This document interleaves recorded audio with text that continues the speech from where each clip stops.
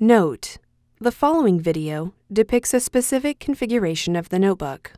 The same removal and replacement procedures apply to all configurations of the notebook. Before you begin, remove the base enclosure and disconnect the battery. Removal Remove the two 3.5mm P1 Phillips head screws identified with keyboard icons on the fans that secure the keyboard to the top cover. Place the notebook on its side and open the display panel. While supporting the notebook and keyboard, insert a keyboard release tool into the opening in the top cover and gently press the keyboard to partially release it from the top cover. Tow the tabs on the front edge of the base enclosure into the cutouts in the top cover and place the base enclosure into position. Turn the notebook right side up. Lift the rear edge of the keyboard and rotate the keyboard toward the front of the notebook until you have access to the point stick, keyboard, and keyboard backlight ribbon cable and ZIF connector. Caution! Take care not to scratch the top cover. Using minimal force, lift the locking bar up on the keyboard ZIF connector and disconnect the keyboard ribbon cable from the system board.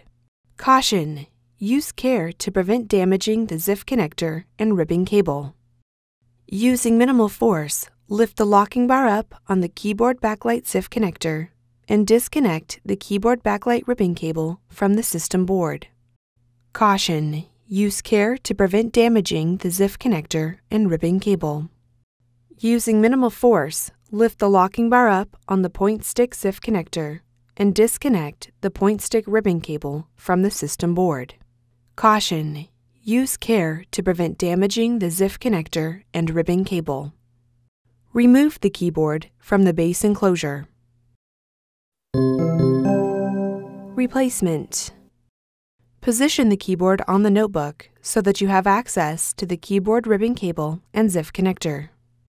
Insert the point stick ribbon cable into the point stick ZIF connector on the system board and press the locking bar down to lock the cable into place.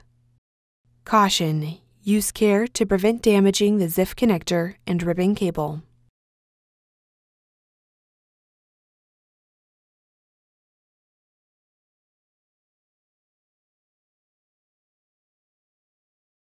Insert the keyboard backlight ribbon cable into the keyboard backlight ZIF connector on the system board and press the locking bar down to lock the cable into place.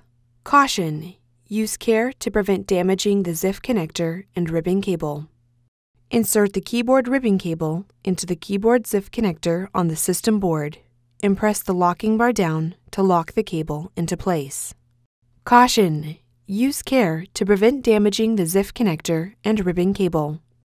Rotate the keyboard toward the center of the notebook and insert the tabs on the front of the keyboard into the slots on the top cover. Lower the keyboard into position and press along the edges of the keyboard to secure it to the top cover. Close the display panel and turn the notebook upside down.